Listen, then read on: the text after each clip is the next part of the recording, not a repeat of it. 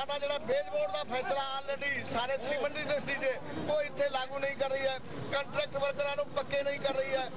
ਇੱਥੇ ਕਈ ਤਰ੍ਹਾਂ ਦੇ ਵਰਕਰ ਇਹਨਾਂ ਨੇ ਰੱਖੇ ਹੋਏ ਕੁਝ ਨੂੰ ਬੋਨਸ ਦੀ ਅਦਾਇਗੀ ਨਹੀਂ ਕੀਤੀ ਜਾ ਰਹੀ ਹੈ। ਕਿਸੇ ਨੂੰ ਬੁਲਾ ਕੇ ਡਿਊਟੀ ਤੇ ਫਿਰ ਵਾਪਸ ਕੀਤਾ ਜਾ ਰਿਹਾ ਇਹਨਾਂ ਸਾਰੀਆਂ ਮੰਗਾਂ ਵਾਸਤੇ ਅੱਜ ਅੰਬੂਜਾ ਮੈਨੇਜਮੈਂਟ ਦੀ ਇੱਥੇ ਅਰਥੀ ਫੂਕੀ ਹੈ। ਜੇਕਰ ਮੈਨੇਜਮੈਂਟ ਨੇ ਸਾਡੀ ਅਜੇ ਵੀ ਕੋਈ ਸੁਣਵਾਈ ਨਾ ਕੀਤੀ, ਤਾਂ ਅਸੀਂ ਐਜੀਟੇਸ਼ਨ ਨੂੰ ਹੋਰ ਅੱਗੇ ਲੈ ਜਾਵਾਂਗੇ ਤੇ ਲੁਧਿਆਣਾ ਦੇ ਦੀਪਨਗਰ ਵਿੱਚ ਦੋ ਧਿਰਾਂ ਵਿਚਾਲੇ ਹੋਈ ਲੜਾਈ ਦੌਰਾਨ ਗੋਲੀ ਚੱਲਣ ਕਰਕੇ ਦਹਿਸ਼ਤ ਦਾ ਮਾਹੌਲ ਬਣ ਗਿਆ। ਮੌਜੂਦਾ ਕੌਂਸਲਰ ਅਤੇ ਭਾਜਪਾ ਆਗੂਆਂ ਤੇ ਉਹਨਾਂ ਦੇ ਹਮਾਇਤੀਆਂ ਵਿਚਾਲੇ ਹੋਈ ਲੜਾਈ ਦੌਰਾਨ ਕੁਝ ਕਾਰਾਂ ਦੀ ਭੰਨਤੋੜ ਵੀ ਕੀਤੀ ਗਈ ਅਤੇ ਪ੍ਰਦਰਸ਼ਨਕਾਰੀਆਂ ਵੱਲੋਂ ਕੀਤੇ ਪਥਰਾਅ ਵਿੱਚ ਇੱਕ ਪੁਲਿਸ ਅਧਿਕਾਰੀ ਸਮੇਤ ਦਰਜਨ ਦੇ ਕਰੀਬ ਪੁਲਿਸ ਮੁਲਾਜ਼ਮਾਂ ਦੇ ਸੱਟਾਂ ਲੱਗੀਆਂ ਨੇ। ਰੋ ਵਿੱਚ ਕੌਂਸਲਰ ਤੇ ਉਸਦੇ ਪ੍ਰਵਾਸੀ ਹਮਾਇਤੀਆਂ ਤੇ ਇਲਾਕੇ ਦੇ ਲੋਕਾਂ ਨੇ ਲੁਧਿਆਣਾ ਦੇ ਸ਼ੇਰਪੁਰ ਚੌਂਕ ਦੇ ਨੇੜੇ ਧਰਨਾ ਦੇ ਕੇ ਪੁਲਿਸ ਦੇ ਖਿਲਾਫ ਜਾਮ ਕੇ ਨਾਅਰੇਬਾਜ਼ੀ ਵੀ ਕੀਤੀ। ਉਧਰ ਪੁਲਿਸ ਵੱਲੋਂ ਪ੍ਰਦਰਸ਼ਨਕਾਰੀਆਂ ਤੇ ਕਾਬੂ ਪਾਉਣ ਲਈ ਲਾਠੀਚਾਰਜ ਕੀਤਾ ਗਿਆ ਤੇ ਕੁਝ ਵਿਅਕਤੀਆਂ ਨੂੰ ਹਿਰਾਸਤ ਵਿੱਚ ਲਿਆ।